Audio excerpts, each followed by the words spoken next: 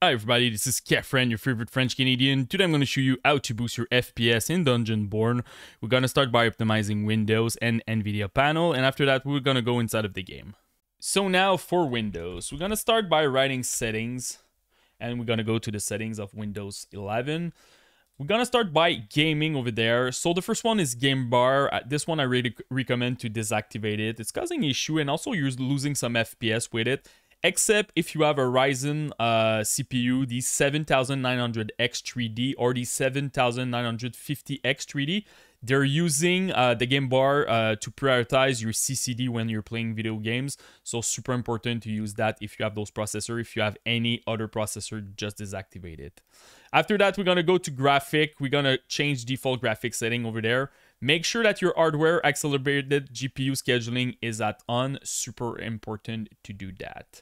We're gonna go to gaming again, capture, capture, make sure that everything is deactivated like this. So uh, you want to save all your resources. And the last one is game mode. Now game mode honestly is really, really good. Back then uh, with Windows 10, it was a bit sketchy and a lot of like stuttering issue, but now you really need to using it uh, to make sure that all your resources are prioritizing your video games. Another thing that I recommend, we're gonna go to system, is your power. Uh, back then, uh, we were recommending to use the best performance, but now, honestly, just use balance. You will have better boost clock, longer boost clock. Uh, I did a couple of benchmark balance versus per best performance, and honestly, I'm getting better result with balance. So super important to do that. Another thing uh, I want to mention is some recommendations. So make sure that your uh, XMP profile is activated if you have it on your BIOS, super important.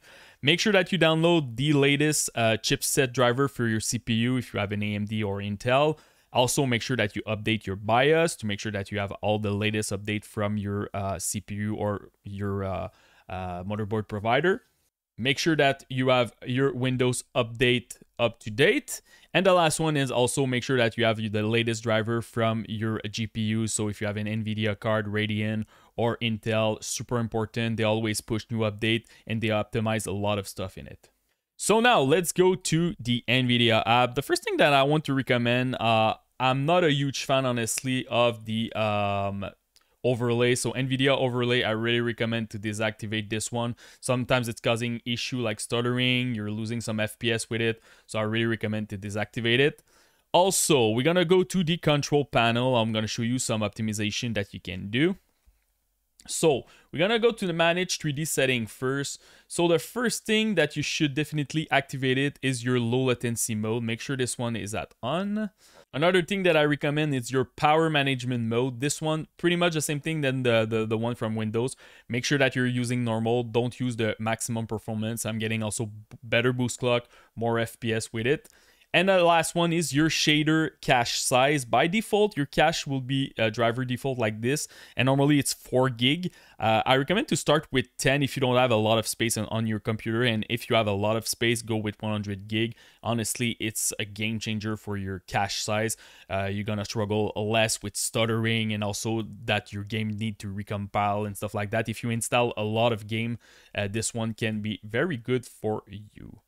Now let's go to change resolution. The last one, really important to make sure that first of all that you're selecting the uh, monitor, uh, that uh, first of all you're using the native resolution of your monitor, and also super important to have a proper refresh rate over there. Uh, by default, sometimes when you just change your monitor, it will be at 60 hertz. Uh, so depending on the type of monitor that you buy, 144, 240, make sure that you're selecting this one.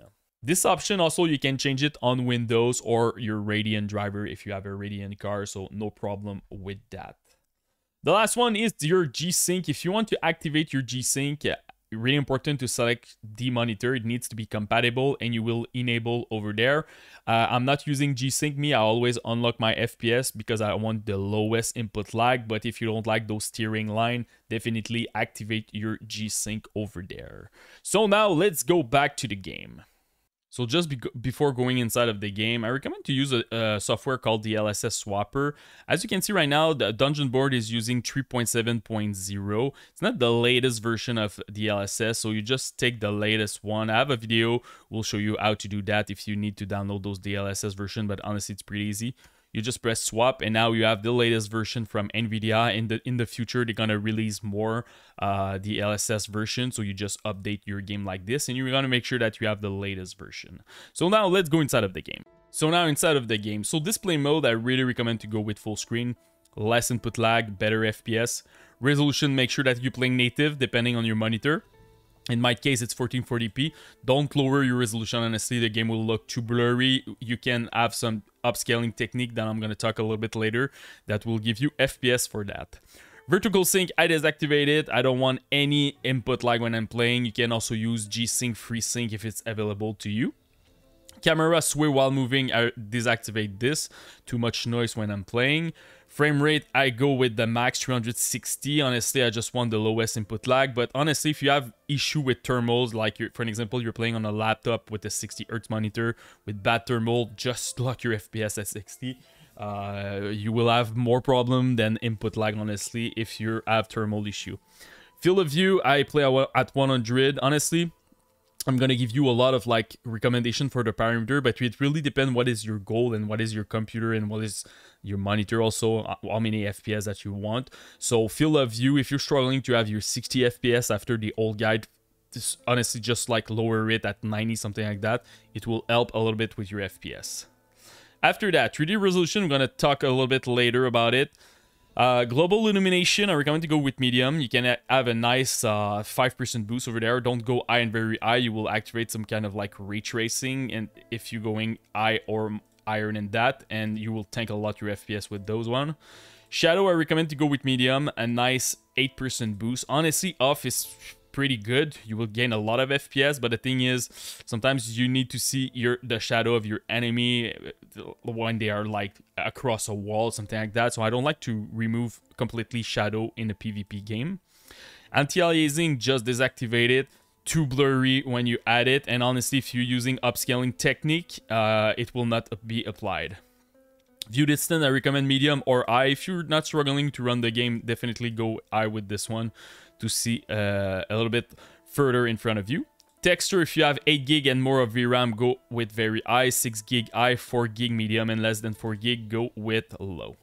Effect, reflection, and post-processing, honestly, those one, everything at low, you're gonna gain 12% uh, in your FPS. More majority of it will be effect and reflection. They're tanking a lot your FPS, honestly. In post-processing, the game is too blurry when you're using medium, high, or very high, so that's why I recommend to go with low.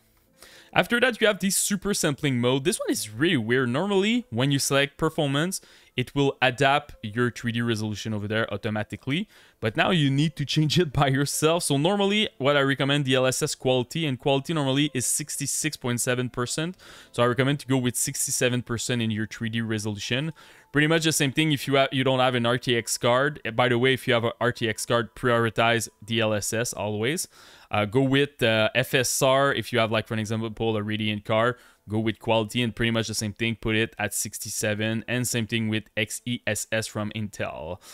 After that sharpness, it's question of preference. It's if you feel that your game looks too much like an Instagram post, it's probably because your sharpness is too high. And if your game is too blurry, it's probably because it's too low, so just adapt it. Advanced model and shadow rendering, I recommend to go with off. This one also tank your FPS a lot, so just deactivate it. So this is pretty much it, guys, for my uh, the best setting for Dungeonborne. If you have any questions, just comment in the YouTube section. Post me your rig, CPU, GPU, and RAM. I will try to help you the best that I can. And don't forget to subscribe to the channel. Peace.